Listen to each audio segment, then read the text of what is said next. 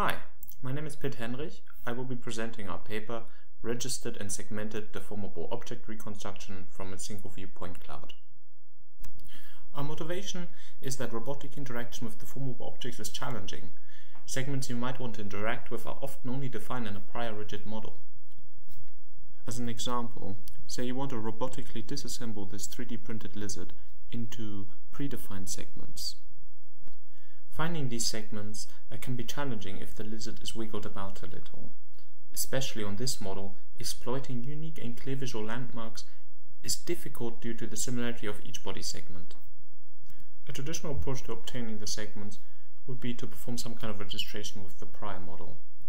Registration methods for tasks such as this are usually very specialized and often complex to implement. As a result, a registration method developed for an articulated object such as the lizard or a robotic arm for example, will likely not work for smoothly deforming objects such as a human. So, I would like to introduce to you our idea to obtain 3D model and segmentation information for many kinds of deformable objects. And the idea is that given a single observation, for example point cloud, of a non-deformable object, directly reconstruct a 3D model that is already registered and segmented. So the idea here is that instead of deforming a prior model to fit the observation, we reconstruct a 3D model that is registered and segmented based on the observation. The reconstruction representation is quite important. There is a lot of choice for different object representations for a system that outputs any kind of 3D model. Two common output formats for 3D models you may already be familiar with are surface meshes and voxel objects, for example, but sadly it turns out that both of these representations come with pretty big challenges. When developing a system that outputs meshes, it is difficult to define regularizers that ensure that the output mesh has good topology and is without self-intersections or holes. Although voxel-based models do not have this problem, they come with a problematic trade-off between resolution and memory requirements. Currently, this makes them impractical if the object you wish to reconstruct is both large and has fine details. Lastly, you can use a function that implicitly defines clusters in 3D space where the objects are defined as the boundaries between the clusters.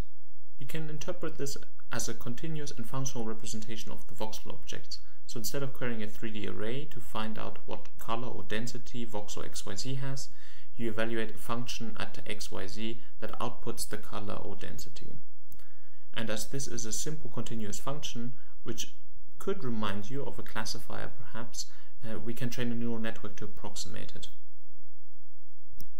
To represent a 3D object, we learn a function that maps spatial points to multi-class occupancy.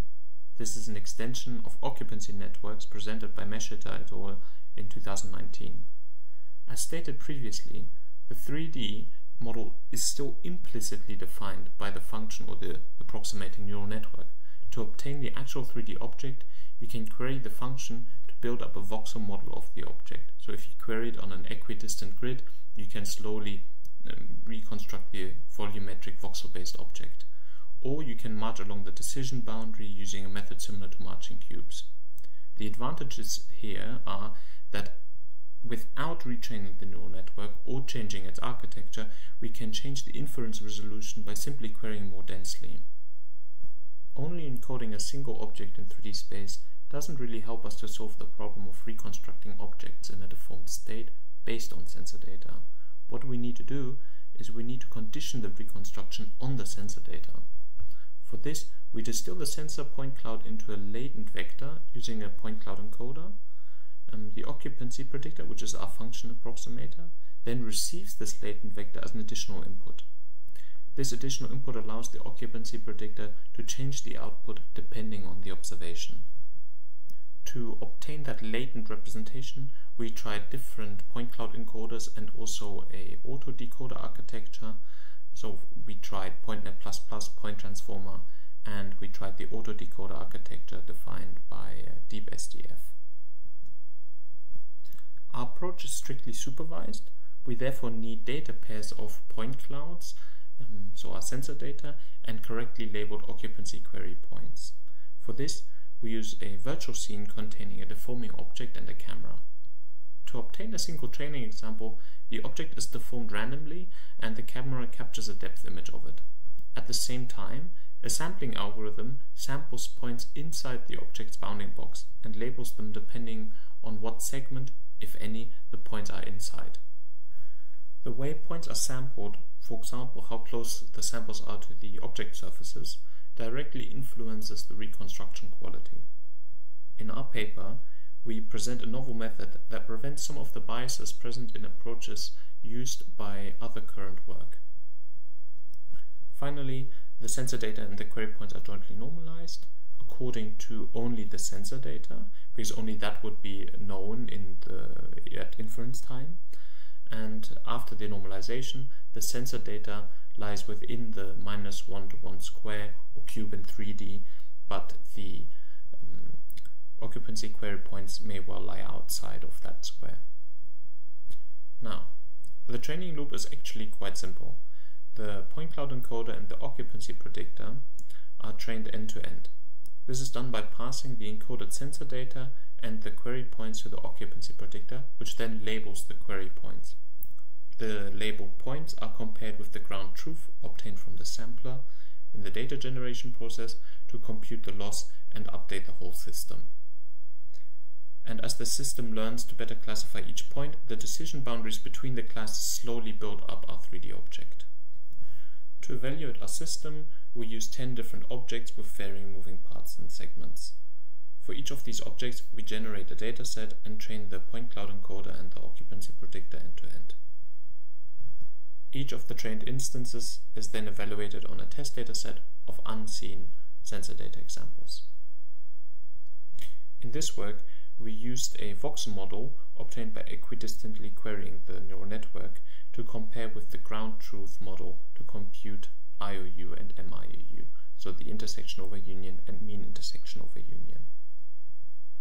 Visually, you can see how close the reconstructions are to the references. Additionally, reconstructions from sensor data sequences is also smooth with little or no geometry flickering. And finally, the system trained on virtual data can also be used for reconstructing from real-world sensor data. On the bottom right you can see a lizard reconstruction that is based on real-world data and as you can see a lot of the fundamental structural information is present in the reconstruction. Still, there is a drop in accuracy when compared to a reconstruction using virtual data. In summary, we present a method to reconstruct 3D models in deformed states from a single point cloud. This is a single system that can provide segmented 3D models for many types of deformations.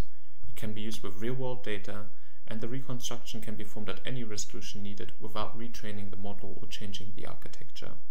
Going forward, we plan to use this method for real-world robotic interaction with deformable objects.